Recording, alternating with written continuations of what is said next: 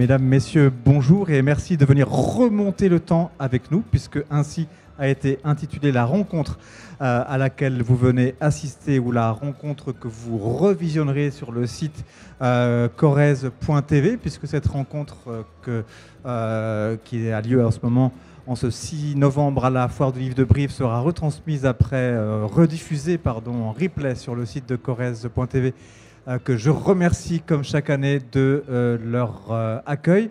Remonter le temps, c'est ce que nous allons faire, c'est ce que vous allez entendre avec trois euh, personnes qui vont vous raconter comment elles écrivent, elles mettent en fiction même parfois ces remontées du temps, parce que c'est ce genre de mise en mémoire dont il est question ici. Je, je commence par la personne qui est au centre de la table, si vous le permettez, messieurs, avec la présence ici de Marilène Patou-Matisse. Alors, je ne sais pas si c'est la première fois que vous venez à la foire du livre de Brive.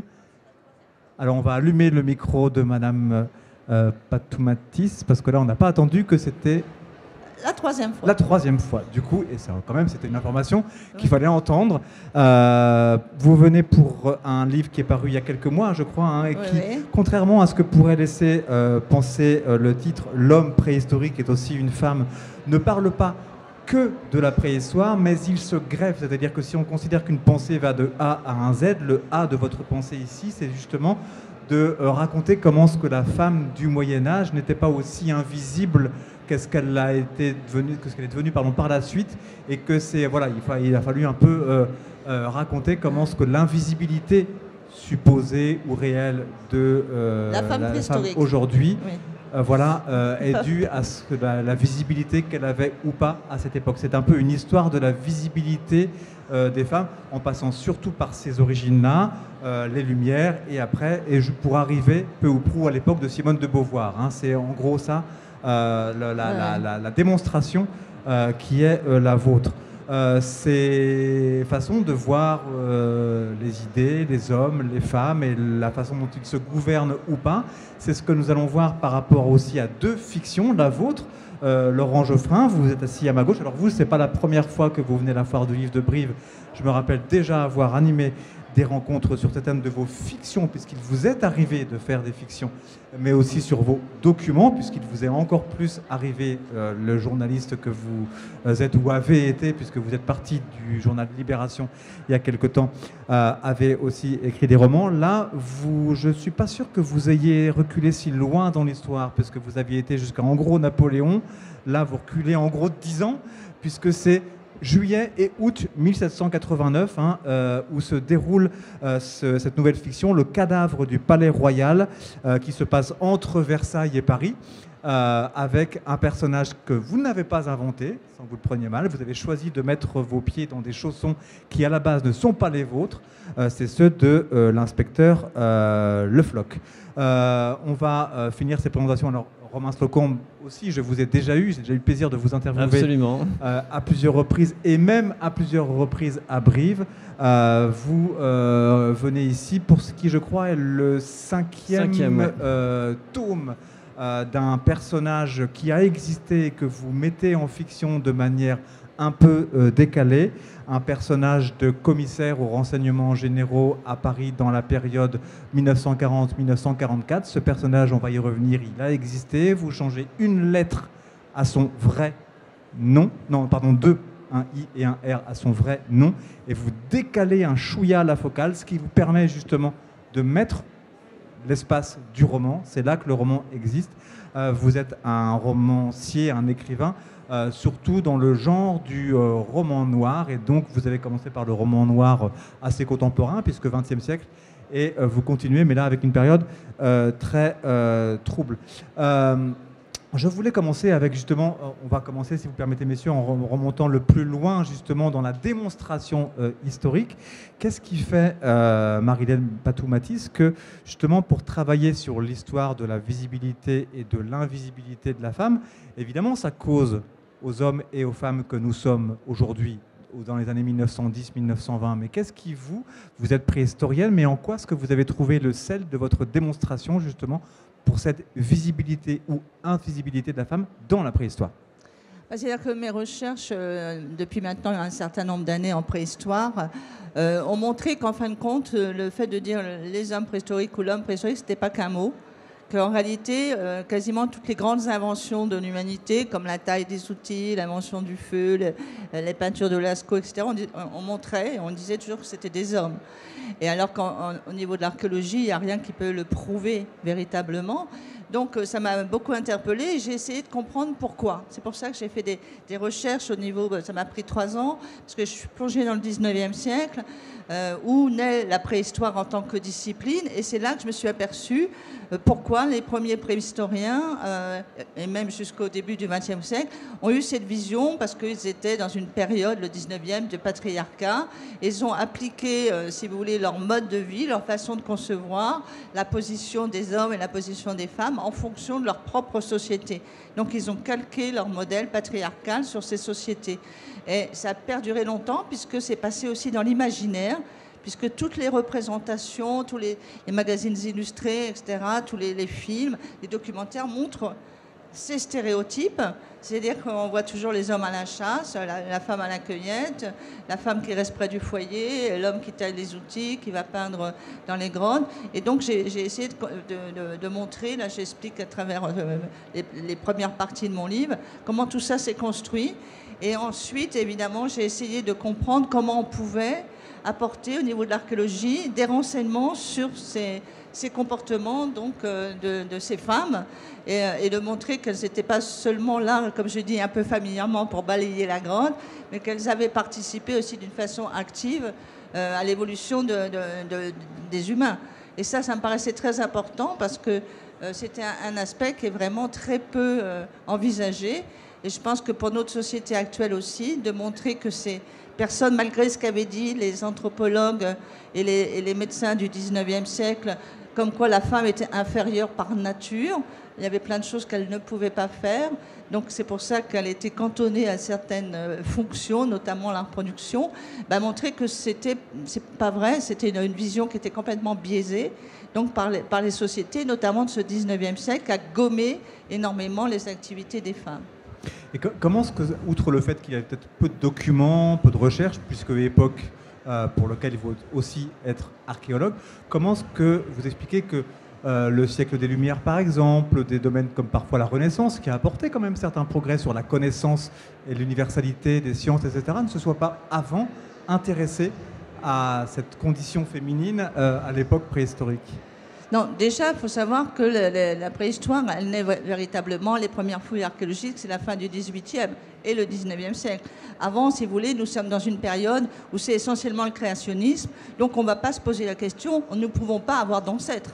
Hein, puisque ça a été, euh, les hommes ont été, les humains ont été créés par Dieu, les animaux, etc. Donc on ne va pas euh, croire à l'existence d'ancêtres préhistorique. C'est pour ça qu'il n'y a pas, il faut attendre. Bon, il va y avoir des travaux, certains initiés, mais il faut attendre bien sûr 1859, avec notamment Charles Darwin et, la théorie de l'évolution, pour qu'on puisse ressortir des, par exemple des outils qui, avaient été trouvés, hein, mais on appelait ça les études de foudre, etc. Donc là, on va les ressortir, on va ressortir des squelettes et on va travailler vraiment en tant que préhistoire, préhistorien, puisque là, on peut dire que les humains, nous, nous avions des ancêtres.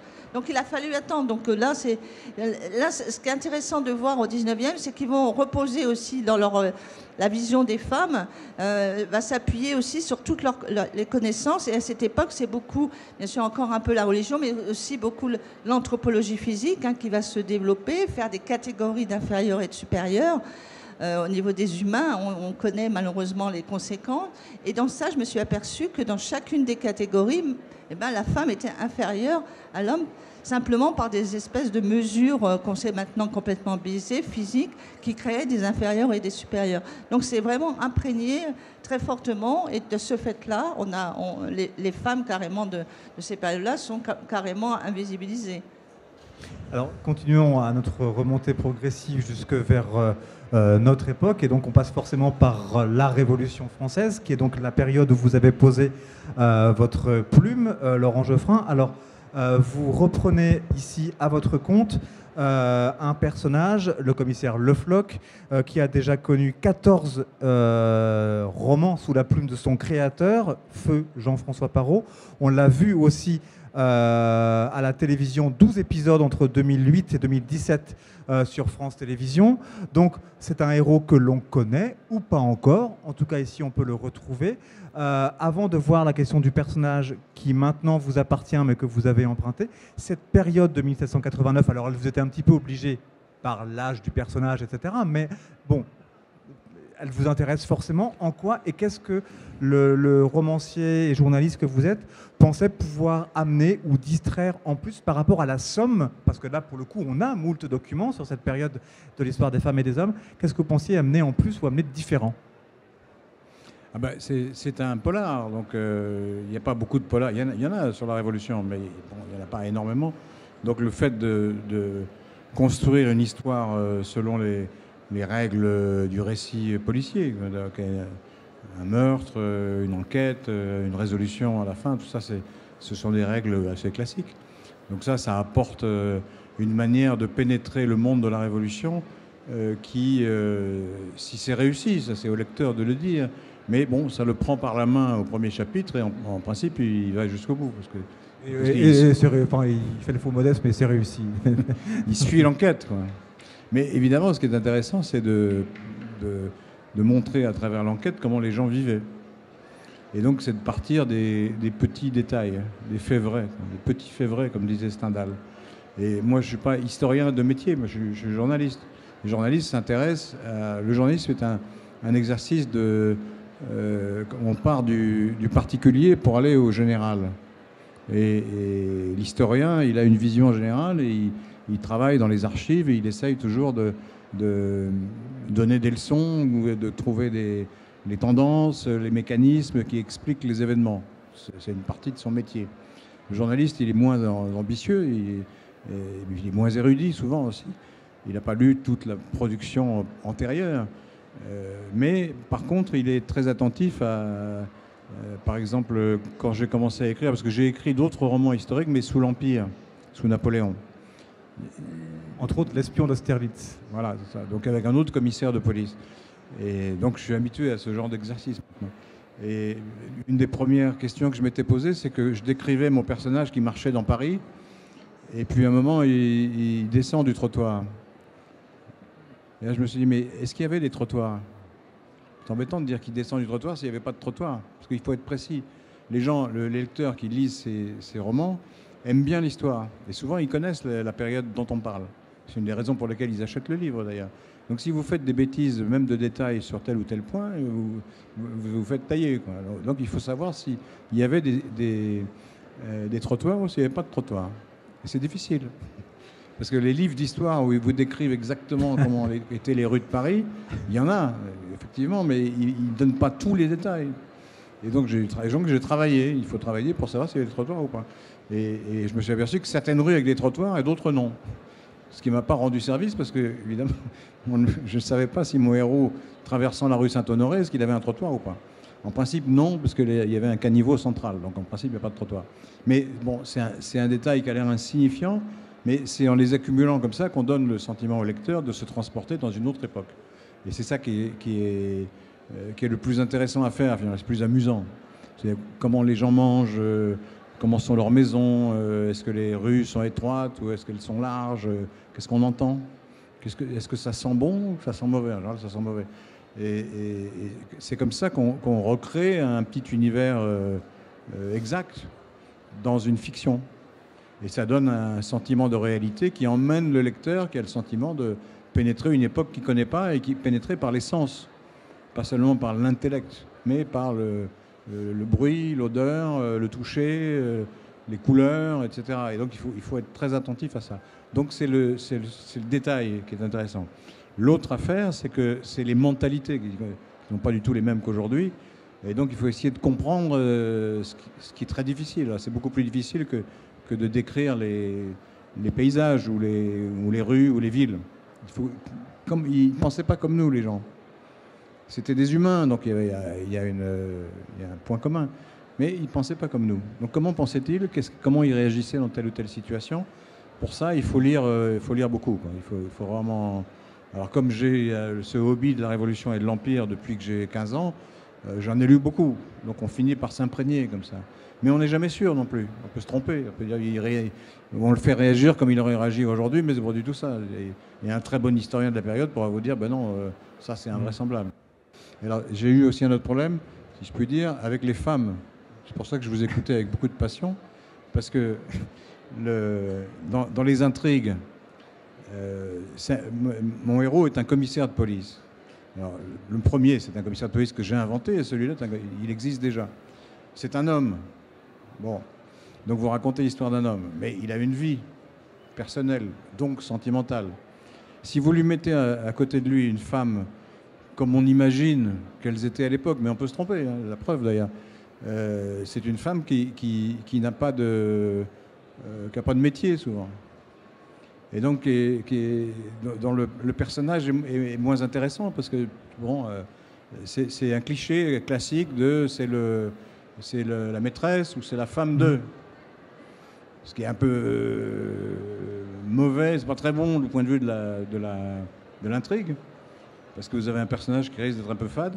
Et puis, euh, c'est gênant par rapport à aujourd'hui, pour le coup, parce que alors, du coup, vous montrez une société dans laquelle les femmes ne comptent pas. Alors, c'est pas vrai non plus. Sous la Révolution, il y a des femmes qui ont compté, moins que des hommes, enfin, il y en a quand même. Il faut inventer un personnage de femme qui soit au croisement des femmes d'exception à l'époque et des femmes d'aujourd'hui. Vous êtes obligé de, vous voyez, de composer mmh. l'affaire et de biaiser un peu avec la réalité historique. Encore que dans, dans ma première série sur Napoléon, mon héroïne, mon héroïne s'appelle Olympe. Donc je me suis pas fatigué. On voit, vers qui ça cligne. C'est pas, Olympe de gauche, mais s'appelle Olympe. Ça, cligne de l'œil. Exprès. Et là, j'ai rajouté aux intrigues de Parot une femme qui, est une femme d'action, qui, fait le, euh, qui, se bat, euh, qui, est une espionne, etc. Donc qui a, une, qui a une épaisseur d'action très forte. Justement, merci d'avoir prononcé ces mots, euh, aller fouiller les documents et puis justement biaiser avec la réalité, parce que si j'ai bien lu les cinq, les cinq aventures à ce jour donc de votre euh, Salorski. Hein, ça a commencé avec l'affaire Léon Salorski en 2017. Et donc pour le moment, on en est là, euh, paru en août 2021. L'inspecteur Salorski libère Paris. On est passé par la Gestapo Salorski, on est passé euh, par Salorski et l'Ange du Péché. Pour dire, donc votre Salorski, c'est la version slocombisée de, de quelqu'un qui s'est vraiment appelé Sadowski et non pas Sadorski. Euh, le vrai, c'était avec un Y à la fin. Il a vraiment été euh, commissaire à la question juive sous le gouvernement euh, Pétain-Laval, etc. Enfin, Pétain, puis après Pétain-Laval. il a vraiment fait ça. Vous, vous, avez, vous avez pris ce personnage, vous vous êtes apparemment basé sur nombre de documents et vous avez raconté comment ce que ça a pu arriver. En gros, c'est ça l'entreprise. Alors, on le voit au début en véritable salaud. On le voit salaud qui parfois c'est étrange, mais cela arriva, à des gestes humains. Dans un des tomes, et je ne spoile pas parce que c'est comme ça que démarre cette enquête-là, euh, il sauve une juive de la rafle du Veldiv en juillet 1942. Voilà, vous avez un peu slocombisé, biaisé, mais comment est-ce que cette figure, un, vous l'avez découverte, et deux, vous avez rusé avec la réalité, comme disait Laurent Geoffrin, pour le décliner et l'historiciser, et nous historiciser nous-mêmes sur plusieurs volumes alors, le, personnage euh, que vous évoquez, donc euh, le Louis Sadowski, euh, il n'était pas commissaire, hein, il était inspecteur principal adjoint, ce qui est assez important parce qu'un commissaire, c'est quand même quelqu'un qui a un certain pouvoir. Et moi, je voulais, créer une sorte de, d'anti-maigret ou de maigret collabo, mais je voulais que ce soit un petit fonctionnaire. Donc euh, il, a, des hommes qui travaillent sous, son autorité, mais il y a également beaucoup de gens au-dessus de lui euh, devant lesquels il va. Il va ramper parce que c'est un fonctionnaire un peu servile. Euh, et donc le véritable personnage, on le surnommait le, mangeur de juifs parce qu'il il travaillait au rayon juif. Il y avait un service qui s'appelait le rayon juif, comprendre plutôt le rayon anti-juif. Euh, donc aux, renseignements généraux. Euh, il, il, a laissé des traces, hein, beaucoup plus que je ne pensais au début, mais euh, il a notamment laissé un, long rapport sur une détention involontaire à Berlin parce que la Gestapo l'a déporté brièvement pour l'interroger là-bas. C'est un personnage bon, qui, a existé. probablement un salaud, je ne sais pas.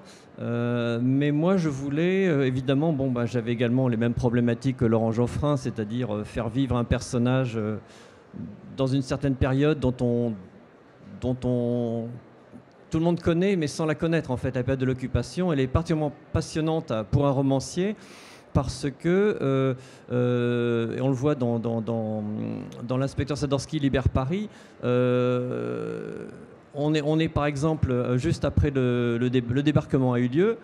Tout le monde pourrait imaginer qu'il y a une sorte d'excitation de, générale et que les collabos ont très peur. C'est vrai qu'ils ont peur, mais assez étrangement, il y a une période euh, que, je, voulais montrer dans ce livre, c'est la période en fait euh, qui dure assez longtemps euh, jusqu'à ce que le front allemand cède. C'est une période où les Anglais piétinent devant Caen. Il y a des bombardements absolument monstrueux sur toute la basse Normandie et les collabos, puisque je parle d'un collabo évidemment du milieu dans lequel il évolue, et notamment la milice, ont tout à coup en fait un pouvoir augmenté par rapport à avant, parce qu'il y a une sorte de, de, de, défi désespéré de, la part des ultras de la collaboration. Et euh, on pourrait penser que, euh, que, que c'est foutu pour eux, mais pas du tout. Ils imaginent, à cause du mythe des V1 et des V2, que, que toutes ces, armes nouvelles vont renverser la situation au dernier moment et qu'en fait, plus il y a d'Américains et d'Anglais qui débarquent en Basse-Normandie, mieux ça vaut. Quand ils seront un million, ce sera génial parce qu'on va les écraser d'un seul coup avec les V1 et les V2. Euh, donc ces types y restent et en même temps euh, euh, il y a une sorte de haine qui est décuplée et il y a des groupes absolument terrifiants, des groupes qu'on appelait les Gestapaches, les Gestapistes français en fait, que la Gestapo utilise pour arrêter le plus possible de résistants. Et c'est une époque où tout le monde devient résistant, y compris beaucoup de jeunes, de jeunes de banlieue qui cherchent, qui veulent des armes, ils veulent en découdre avec les Allemands parce qu'on sent quand même qu'avec la déroute allemande, toutes ces troupes vont, évacuer Paris vers l'est. Et, euh, euh, il va y avoir une sorte de moisson terrible qui va se faire de ces jeunes résistants qui naïvement se font avoir par des, des faux résistants qui les manipulent, qui les font venir à Paris. Et c'est l'affaire terrible de la cascade des fusillés de la cascade du Bois de Boulogne et euh, on leur promet des armes et en fait on les attire dans des guet-apens horribles et on, les tue par dizaines en fait. Et j'ai voulu décrire une, bande particulièrement horrible c'est celle de la, Gestapo de, la rue de la Pompe dirigée par un espion de l'Abwehr qui s'appelait Friedrich Berger mais qui utilisait des Français. Voilà. Et donc mon, mon malheureux Sadorski en même temps on est comme c'est un type assez antipathique, on n'est pas trop triste pour lui, mais en même temps, il va tomber dans leurs griffes et, euh, et il va, alors que Paris est sur le point d'être libéré, il va en fait euh, s'enfoncer dans une situation cauchemardesque. Alors, vous dites vous-même que c'est un type assez antipathique, mais sauf que ce type antipathique, vous l'avez quand même à ce jour consacré cinq romans, raconté à la troisième personne, donc il y a quand même une certaine distance. Euh, pour l'amateur de polar, et vous pouvez le faire parce que c'est au XXe siècle, et je pense qu'au XVIIIe c'est un chouïa plus délicat, vous pouvez raconter au temps présent, parce que ce qui fait le grand secret aussi, c'est pour ça qu'on est embarqué, c'est que c'est un temps du présent, c'est un temps cash. C'est plutôt le roman d'espionnage qui le fait d'habitude, là vous le faites. On verra, on va, je, je, voulais vous poser la question aussi sur comment ça pourrait éventuellement se faire au XVIIIe. Mais c'est un temps qui ne triche pas et qui, du point de vue de la lectrice ou du lecteur, peut aussi se dire bon bah s'il colle au présent, c'est qu'il colle à la situation. S'il colle à la situation, c'est que bah, peut-être qu'il colle au personnage. On se doute bien qu'idéologiquement vous connaissez pas au personnage. Puis vous venez de dire vous-même qu'il est antipathique. Mais alors, il est antipathique. Comment est-ce que le romancier a une distance empathique mm. avec un tel salaud qui a existé et dont vous dites vous-même que c'est un salaud? Pour moi, j'ai toujours l'impression, quand je vais euh, le matin, quand je vais travailler, que je suis une sorte de metteur en scène qui a, écrit une pièce de théâtre et qui euh, va au théâtre euh, faire la répétition avec ou, le tournage avec ses acteurs. Donc pour moi, ce sont des acteurs en fait. Donc ils ont un petit bout de papier sur lequel ils savent plus ou moins ce qu'ils vont faire, mais je leur laisse une certaine part d'improvisation dans les dialogues notamment. Et en les voyant évoluer, je me mets à la place de chacun d'eux euh, et, donc des nouvelles idées d'ailleurs euh, surgissent. Et il y a toujours effectivement une position par, euh, par le lecteur doit être. il y a une vraie mise en scène en fait dans, le travail du romancier. Et, comme tout metteur en scène, on doit placer la caméra à un certain endroit. Et moi, je mets la caméra concernant mon personnage principal carrément sur son épaule. C'est-à-dire qu'on est tout le temps, euh, on est avec lui. Il n'y a jamais un chapitre. euh, c'est vraiment aussi facile que ça? Enfin, c'est vraiment la décision narrative est vraiment aussi aisée que vous le dites là? Euh, pas, je ne sais pas si elle est aisée ou pas, mais en tout cas, c'est une décision à laquelle je me tiens. Et, et, donc, on est très près de lui, et c'est un petit peu bon. C'est chose que j'ai aussi apprise chez, chez Simon, c'est-à-dire que Simon est extrêmement fort pour le, dialogue, enfin le, monologue intérieur de ces personnages. C'est pour ça qu'il y a beaucoup de points d'exclamation chez Simon, parce que il y a une phrase qui dit, mais c'est une phrase en fait qui est dans la tête du, héros. Euh, et, donc, quand, quand, quelquefois, dit, quand, quand, Sadorski euh, dit, euh, enfin, dit, dit, un truc qui dit, mais pourtant Pétain, c'était le sauveur de la France, point d'exclamation, on est dans la tête de, Sadorski. Euh, voilà, donc pour le lecteur, c'est une expérience assez étrange parce qu'il est pratiquement dans la tête d'un salaud tout le temps et on comprend aussi pourquoi, pourquoi il fait ceci ou cela. Et euh, c'est un type à lubie, donc quelquefois, effectivement, comme vous disiez, il va décider de, sauver une juive alors qu'il n'y est pas obligé. Cette décision euh, du temps narratif et de la narration, comment elle se décide chez vous, Laurent Geoffrin? Est-ce que, comme je le pensais en tant que... Moi, je suis, je suis pas romancier, euh, est-ce que pour vous, la troisième personne au passé, c'est aussi dû au fait que c'est une époque plus reculée, euh, qui n'a pas été filmée comme, a été, comme a été, a été filmée la Seconde Guerre mondiale? C'est dû au fait que le, style doit, doit, avoir un peu le parfum de l'époque. Alors à l'époque, le, roman existait, mais euh, le, roman roman commençait vraiment. Quoi. Et, c'était écrit, c'était pas écrit au présent, c'était pas écrit de manière subjective. C'était, fait de la manière la plus classique qui soit. Et donc, euh, si j'avais pris un, ton plus moderne, au présent, avec des phrases courtes, euh, ou, euh, enfin, une, écriture plus, oui, plus modernisée, plus, plus facile, plus, plus parlée, par exemple, c'est un des genres d'aujourd'hui. Euh, ça colle pas avec le avec l'entreprise générale qui est de transporter les gens dans une autre époque. Si vous transportez les gens qui sont habillés comme aujourd'hui, ça ne marche pas. Donc, qui parlent comme aujourd'hui, ça marche pas bien non plus. Ils peuvent pas non plus parler exactement comme à l'époque parce que le, langage était, très différent et, puis il y avait les accents. Les accents, c'est difficile à traduire. Euh, mais vous devez, faut donner au style un parfum euh, d'époque. Il faut qu'il y ait des mots un peu anciens, des tournures euh, euh, traditionnelles qu'on utilise moins aujourd'hui ou même plus du tout. vous êtes obligé de faire ça pour, avoir l'effet de l'effet de, de, de, de temps pour reprendre le titre de, la discussion. Et, et puis l'autre raison, c'est que le but, c'est quand même de, plaire de distraire. C'est pas de faire œuvre d'innovation littéraire. C'est pas le but. Et puis en plus, il faut avoir le, goût et le talent de faire ça. Bon, là, là il s'agit de, prendre le lecteur, pas seulement par la main, mais par le, par le col, comme ça, et, le tirer jusqu'au bout, qui ne s'arrête pas euh, avant la fin du, dernier chapitre. Donc il y, a, y a une règle d'intrigue, de récit. Et cette règle d'intrigue oblige à suivre le héros tout le temps si, vous commencez à faire des digressions euh, et à quitter le héros, le, lecteur, enfin, il, lit. Pas, même si c'est bien fait, il lit quand même, mais c'est pas, pas logique. C'est une enquête policière, donc on suit l'enquête. Et on ne peut pas tout d'un coup passer de l'autre côté, c'est-à-dire passer du côté des assassins et, dire ce qu'ils font. Mm. Parce qu'à ce moment-là, vous quittez le point de vue du commissaire et c'est le, caractère policier de l'intrigue est, est, affaibli, à mon avis. Donc il faut rester sur le, sur le, sur le protagoniste principal. Pour, pour finir euh, euh, et, rebondir sur cette question de comment raconter le présent euh, comment raconter le passé au temps présent ou comment justement historiciser, vous, Marilène Patoumatis, quand justement pour cette en gros histoire, pareil, du passé vu d'aujourd'hui, mais aussi vu du présent, mis dans le contexte par rapport à, à la femme d'alors. comment est-ce que l'époque d'aujourd'hui, son parfum, le parfum MeToo, le parfum de ce qui est enfin et pas assez, certes, euh, verbaliser des violences euh, contre les femmes, des violences conjugales, etc. Qu'est-ce que le parfum de notre époque, là, année 2010-2020, vous, vous, a permis de, de, verbaliser et de chercher, voire de trouver, que ne vous aurait pas permis une autre époque?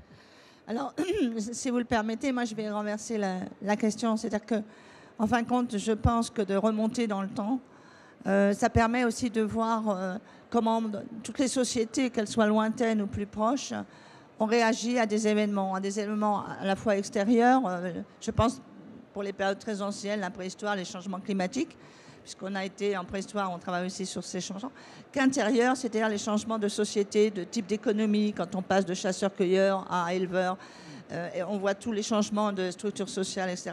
Donc je pense que remonter le, le temps, ça permet aussi d'avoir toutes ces visions et quelquefois de remonter un peu le moral, parce qu'on s'aperçoit que euh, rien n'est uniforme, tout est buissonnant hein, au niveau des cultures, etc. Et qu'on a des, systèmes de balanciers. Donc, euh, ça permet aussi de trouver pas des solutions, mais de montrer qu'il y a toujours eu des réponses, qu'on a toujours trouvé des réponses euh, lorsqu'on s'interrogeait. Et c'est ça le point fort. Et donc, euh, ce que j'espère par rapport à, mon ouvrage, c'est de, montrer que justement les femmes euh, euh, ont participé comme les hommes, à, l'histoire de l'évolution humaine, qu'elles ont apporté, et au cours de l'histoire, qu'il y a toujours eu des femmes qui ont apporté euh, euh, vraiment leur participation à, l'évolution au sens euh, général du terme. Et, ça, c'est important, c'est-à-dire que de ne pas rester sur des écrits, parce que malheureusement, beaucoup d'écrits d'historiens, je pense beaucoup au 19e, bien sûr, mais aussi à d'autres périodes, c'est écrit par des hommes quasiment, et qui ont gommé une grande partie. Et en réalité, ce n'était pas le cas. Dans, dans beaucoup de périodes, je me suis rendu compte que, par exemple, il valait mieux être une femme chez les Celtes, par exemple, qu'au XVIIIe siècle.